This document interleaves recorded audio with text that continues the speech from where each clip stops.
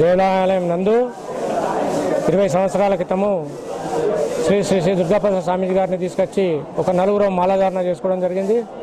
అప్పటి నుండి ఇప్పటి వరకు కూడా స్వామీజీ గారు ప్రతి సంవత్సరం విచ్చేసి మాలాధారణ కార్యక్రమాన్ని నిర్వహిస్తున్నాము.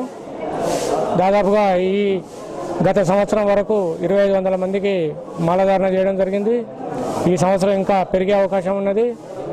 ఈ యొక్క మాలాధారణ చేసుకోవడం వల్ల దురలవాట్లు పోయి మంచి అలవాట్లు దుర అలవాట్లు పోయి మంచి అలవాట్లు వచ్చే అవకాశం ఉన్నది.